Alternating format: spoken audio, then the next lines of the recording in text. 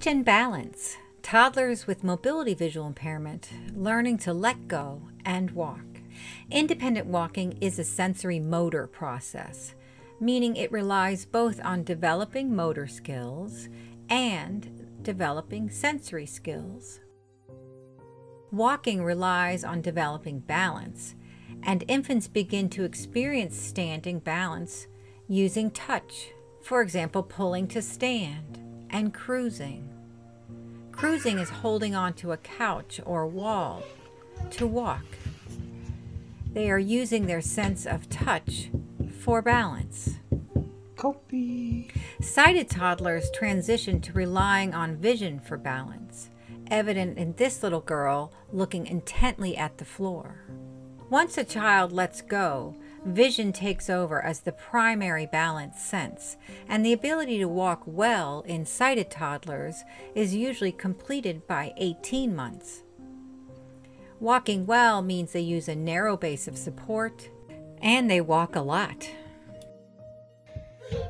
Yeah, walk Toddlers who are blind and mobility visually impaired cannot rely on vision for balance. They continue to rely on touch or haptic feedback for balance.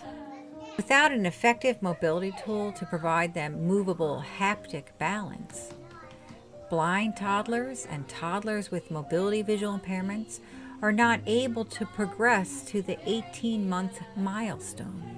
Walks well. They do not have the visual ability needed to let go for balance. They continue to use the best sense a blind or mobility visually impaired child has touch. Holding a hand, holding a wall, holding a chair, pushing a chair are all forms of seeking balance to remain standing and explore. The difficulty is that these rudimentary methods of balance limit their ability to explore beyond hand's reach.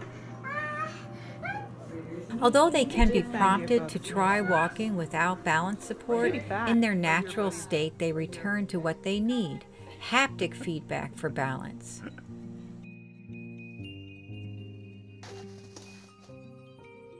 Timothy, come here.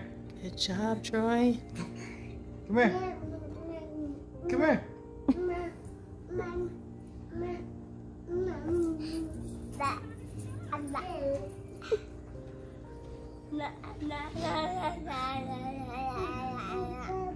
Yeah, yeah. Toddlers who are blind and mobility visually impaired adapt to their lack of vision for balance by maintaining contact yeah, with walls, floors, furniture, and people. They don't understand that this strategy causes them delayed concept, language, and social skill development.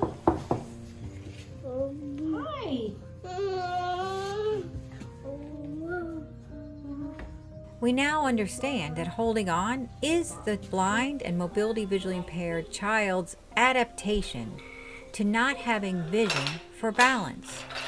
So there is a need for parents and educators to provide toddlers who are blind and mobility visually impaired with a substitute. Some have tried push toys. They are awkward and they are easy to let go of and easy to use for stimming.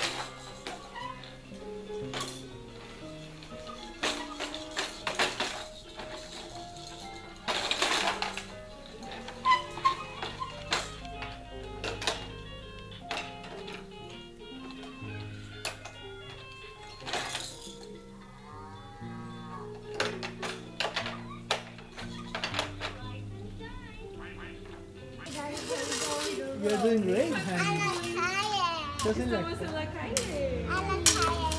You're in La Calle right now, right? Mm-hmm.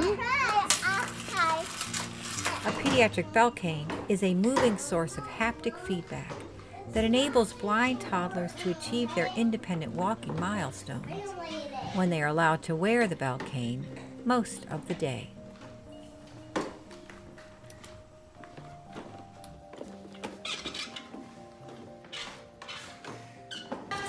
the left.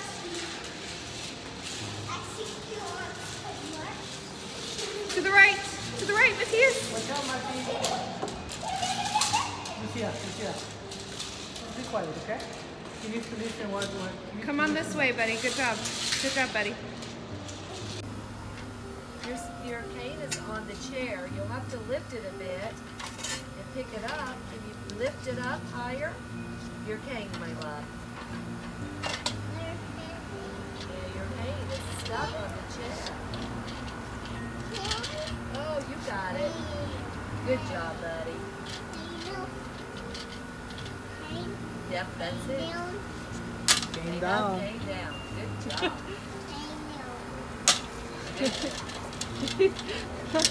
Are you lifting it up just so you can show us you know it's supposed to be down?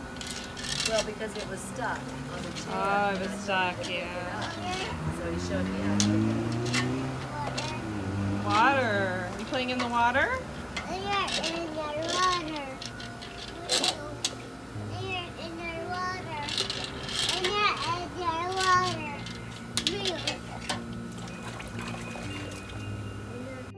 For more information, go to safetoddles.org. Share and subscribe. And please donate to our mission. safetoddles.org slash donate. Safe Toddles. Our mission is to provide blind toddlers with a solution for walking independently with safety.